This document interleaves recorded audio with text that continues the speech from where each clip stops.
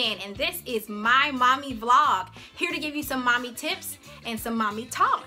This first video is going to be the top five breastfeeding questions that I have been asked. I hope you enjoy it. Do not forget to like and subscribe. Click that subscribe button that is in that corner and you'll get all your updates about every time I post. I post Monday and Wednesdays. Hope you enjoy it. Let's get started. One, why breastfeed? Well, doctors, sources, everybody says that breast milk is the best option and the best way to go. In my opinion, it absolutely is. It's the best thing that, that God made for your baby. It has everything that it needs. Um, as long as you're healthy, the milk is going to be great. It's going to offer everything the baby needs in order for it to grow healthy and strong. It changes as the baby gets older and just make sure that it's getting everything that it needs in its body. Um, but if you're having problems, if you're struggling, I too struggled with my first child. Um, after six months, my milk dried up and I had to switch over to Similac. My baby is absolutely fine. He loved it. He drank it as if it was no different. So there are other options. Do not feel bad if you cannot um, breastfeed or pump or offer your baby breast milk. There are other ways of getting it. There are plenty of moms who have an oversupply like I did with my second son and um, offer to sell it or offer to even give it away. So they go online. There are plenty of different websites that you can buy breast milk as well. But if you don't choose to do that, Similac and formulas are just fine as well. Two, Will my baby latch? That question is not a yes or no answer. It would all depend on your baby. After birth, while you're in the hospital, that is the best time and the most vital time if you want to have your baby latch on to try to get them to actually do that. Skin to skin is extremely important, making sure that they don't have any pacifiers, any bottles, or anything. And for, that reason, because it is two different ways that they have to suck in order to get the milk to come out of your breast versus a bottle. So no pacifiers, no bottles, no anything. Make sure that you let your um, nursing staff and everybody know that that you want the baby to latch. But they're going, your doctors are going to um, say that you need to make sure you're doing skin to skin, make sure that you are nursing I think they say like every three hours or, or something like that to make sure that they're they're getting it in. Um, also, if it still happens to be that your baby is not latching, because that was my case, neither one of my children latched, pumping is also another option.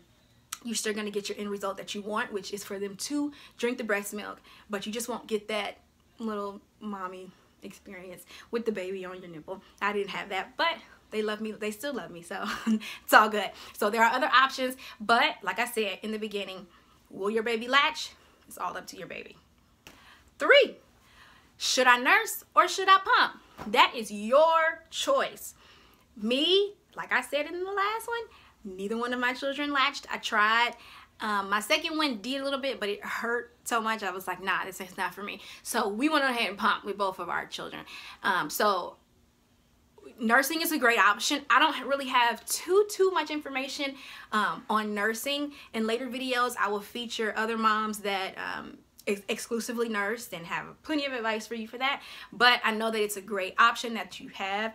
Um, it's more of an intimate option. Um, you're with the babies with you all the time. The milk is on you all the time. You don't have to pack bottles, you know, and all those things. So there are a lot of pros to that, but I know there are some cons as well with that being you really can't go anywhere, you really can't do anything. The baby has to be with you all the time, especially when they're small because they have to eat um, every so many hours. So, and if you do leave, I know you have to be back and all that. Um, but then you have pumping, which is what I did. That is another, um, there are pros and cons to that as well. Pros are that somebody else can feed them. You can hand them off, dad, mom, whoever, grandma, you can hand them off and they can feed them. They don't have to necessarily always be with you.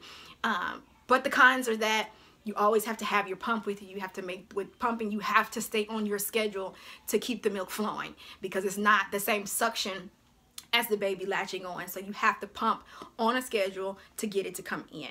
Um, so those are your options. You can nurse or you can pump, but that's completely up to you. Four, how soon will my milk come in? And how much will I get? Now, this subject is a subject that I get questions on all the time. People ask me because I got an oversupply of milk with my first son and my second son.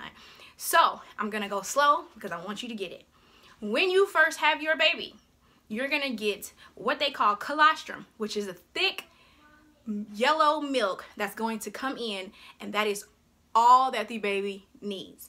When I first had my first son, Carson, I was a new mom. I was doing way too much thinking that he was not getting enough food until my nurse came in and said, baby, this is all he needs. If your body's going to produce exactly what the baby needs. So do not uh, freak out if you're not getting a lot. Your body knows exactly what your baby needs and that's all you're going to get. Now, you do need to get on a schedule.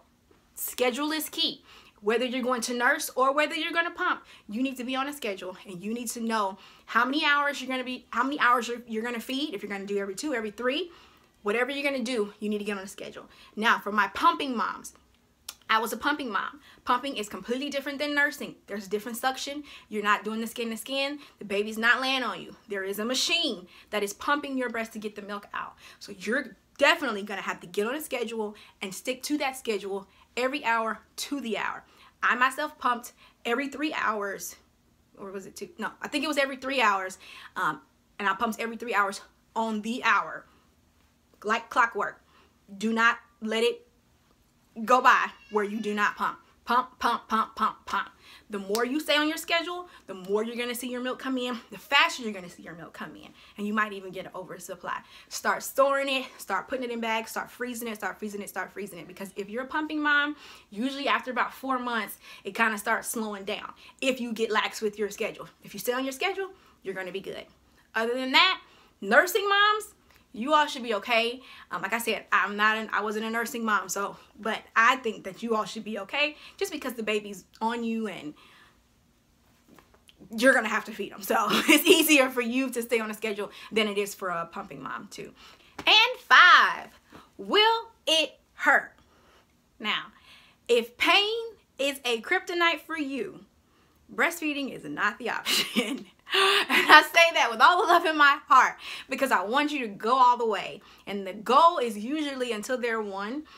But if pain is a kryptonite, let's just go and wrap it up. You're not going to be able to do it. Um, it is something that you're going to have to get used to. I know that they say if you nurse, if it's painful, then you're probably not doing it right. Um, but I don't know too much about that. But like I said, with pumping, that is just something that you're going to have to get used to. Um, it's not excruciating pain, but it is very uncomfortable to have something, it's, it's pulling on you. So um, that is very uncomfortable. So I will say that if pain is not an option, then neither should breastfeeding. All right, moms, that's my first video. Top five breastfeeding questions just answered by me from my experience. Hope you enjoyed it. Hope it was informational. And if your children haven't told you today, you're a great mom and they appreciate everything you do. Have a good one.